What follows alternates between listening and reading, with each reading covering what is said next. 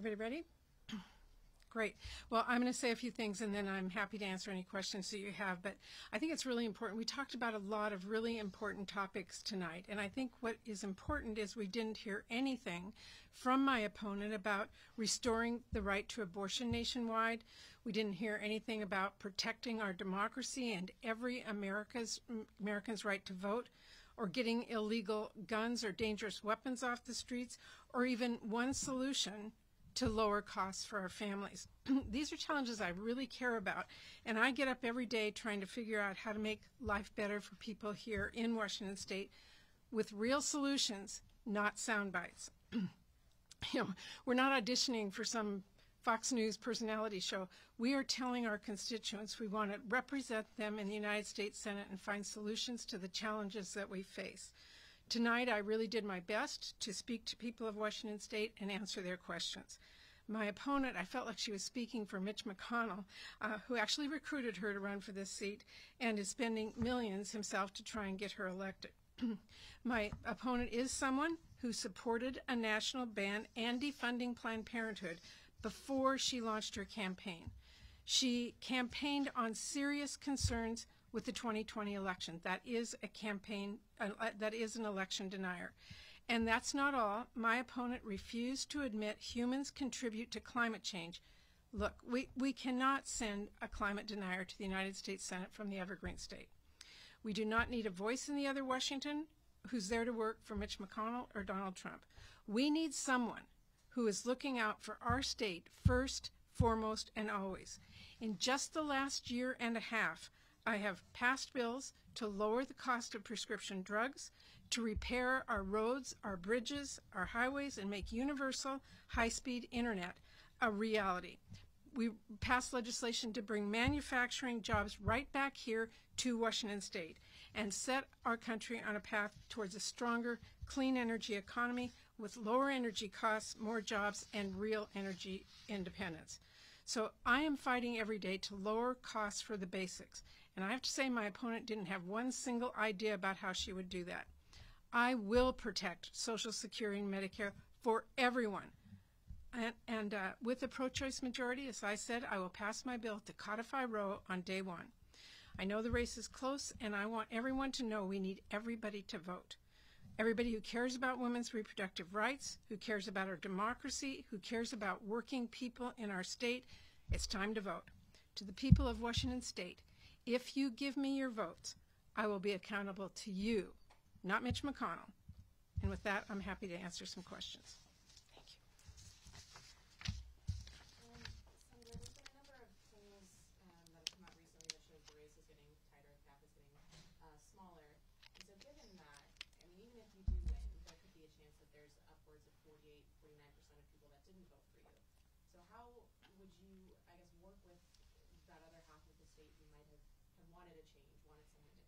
The, the same way I always have.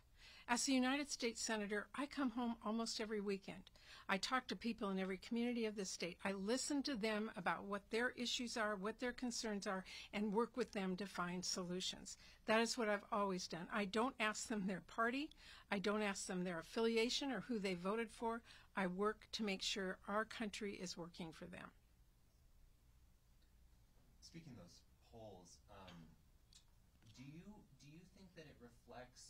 you know, your opponent has tried to, to tie you to establishment, you know, Democrats, and you have been in the Senate for now 30 years. Do you do you think that voters are getting frustrated with the Democrat Party? Look, I think people are frustrated with what's happened in their lives in the last several years. We had a pandemic. Everybody struggled through it, trying to figure out how to make ends meet, how to keep their kids in school, how to keep their jobs. It has been a frustrating time, and now they are seeing challenges to every family in inflation. So the question that they're asking is, what will you do to help my family? And that's why I am so focused on lowering costs to help them get through this, to make sure that we are doing everything we can to survive the challenges we've faced. And I will continue to do that.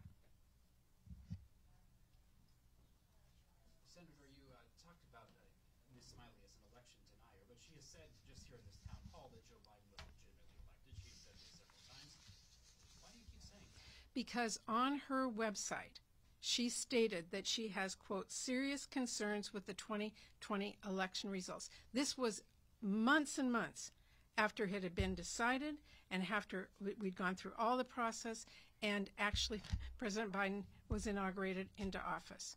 When you continue to put that on your website and send that to people, it sows mistrust. It sows mistrust that leads to people who don't trust our democracy. And I think that is extremely dangerous. We saw the outcome of that on election day, or sorry, on January 6th, even to today, where we see some of the violence with Nancy Pelosi's husband being targeted. People need to stop denying an election. Let me make this very clear. I have been happy with some elections and not happy with some elections. But at the end of the day, if the opposite party wins, even Donald Trump, I accept the results of that election to the point of, as a member of leadership, sitting 10 feet away from him when he was inaugurated into office and using my position to show that the election was legitimate. She has never done that.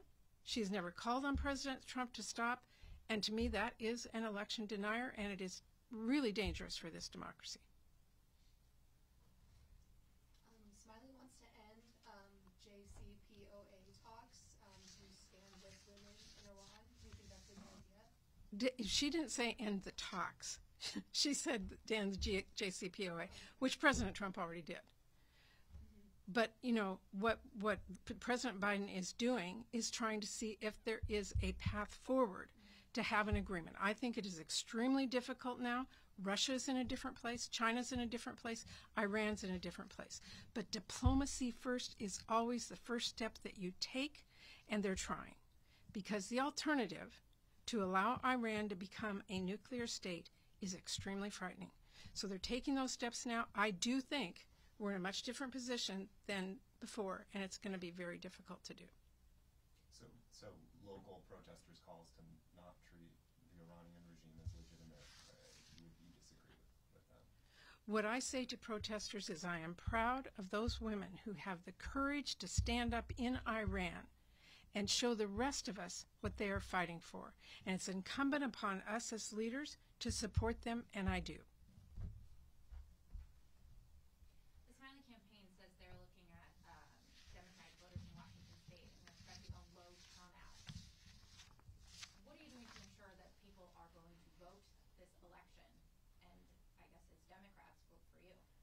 Look, I, I've been all over the state. I, I've been talking to my supporters. I will tell you, the enthusiasm is incredible. People realize the consequences of this election.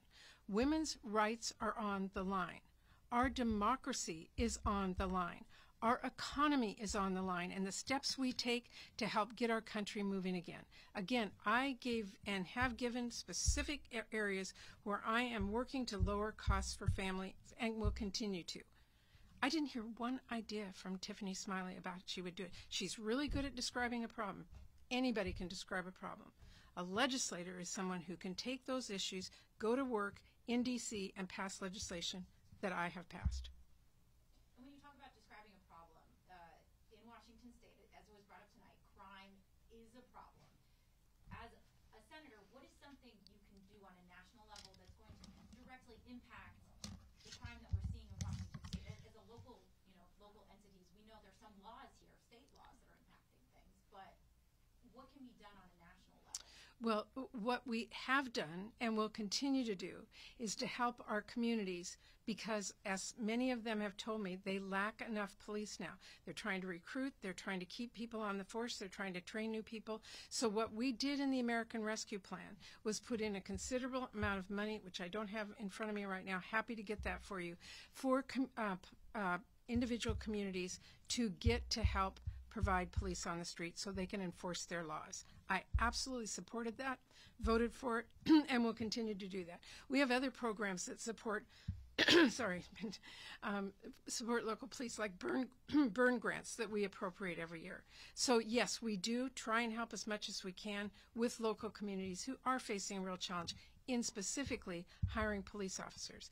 But I think it is wrong to just say that is the only problem. Yes, people want someone to respond, and I do, and I know that, and we need to help provide police for our communities when we can.